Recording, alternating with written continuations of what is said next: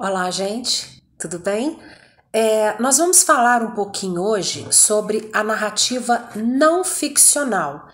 É o assunto 8 da apostila. Muito bem. Antes da gente trabalhar a narrativa não ficcional, que não é novidade para vocês, eu queria retomar um pouquinho o que é uma narração. O que é um texto narrativo? Muito bem. A gente considera o texto narrativo aquele que vai contar uma história, né? Então, se ele vai contar uma história, ele vai apresentar todos aqueles elementos da narrativa, né? O que, quem, onde, quando e o que aconteceu. Então, o que aconteceu, quem conta e quem participa, onde aconteceu e quando aconteceu né? É o que nós chamamos de agenda comunicativa. Muito bem, gente. Aí, quando eu falo em contar uma história, a gente para e pensa assim: bom, se eu vou contar uma história, essa história ela é real ou ela é fictícia? Como que a gente vai saber disso? Como que a gente vai saber se a história é real ou fictícia? Muito bem, meus amores. Hoje, basicamente, nós vamos estudar a narrativa real. Aqui não é fictícia. Quais são essas narrativas? Vai ser a notícia, a reportagem e a biografia, tá? A narrativa biográfica. Então vamos lá. Todos esses três elementos, todos esses três tipos textuais, esses gêneros textuais, eles vão contar uma história, tá? Eles vão estar contando. Só que essas histórias, elas são baseadas em fatos reais, tá?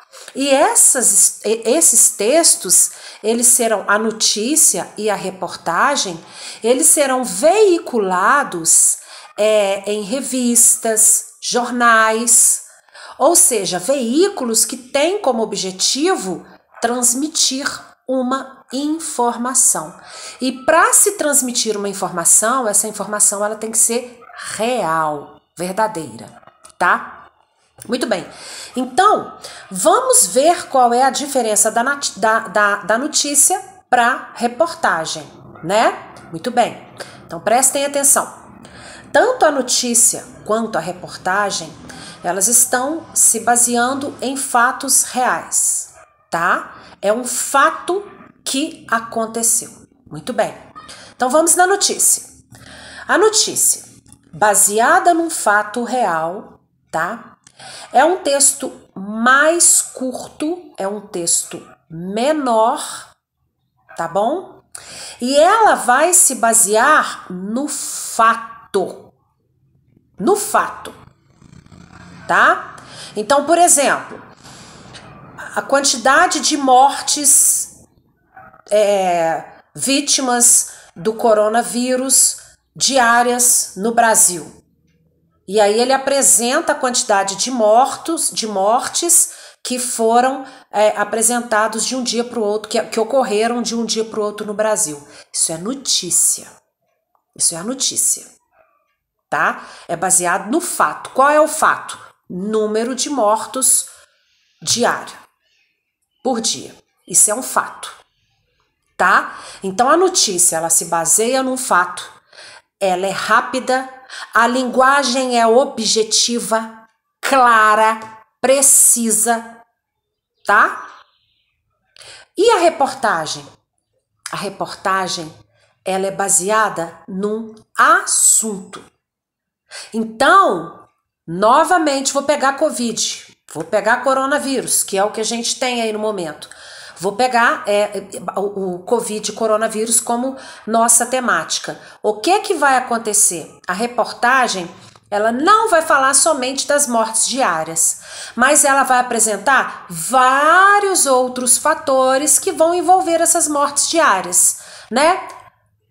Lugar onde a pessoa vive, a possibilidade de contaminação, e várias outras características. Aí na reportagem eles podem apresentar é, autoridades fazendo abordagem sobre o assunto, tá? Muito bem. No caso da reportagem, gente, o texto ele vai ser mais longo, mais extenso, mais detalhado, mas a linguagem utilizada é objetiva, norma culta, tá? Norma culta. A língua é correta. Então, basicamente, o que é diferente da notícia para reportagem é o tamanho, tá? A notícia ela é baseada num, num fato.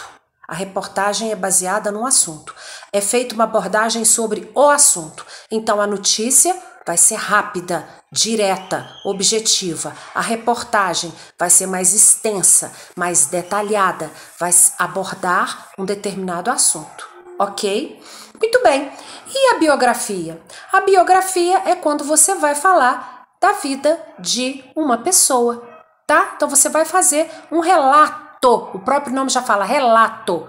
Relato é que você está baseando em fatos reais. Relato biográfico é quando você está falando da vida, retratando a vida de uma pessoa. Muito bem. Você tem aí as narrativas não ficcionais. Tá bom? Muito bem, muito obrigada. Essa foi a nossa aula de hoje. Tchau, tchau.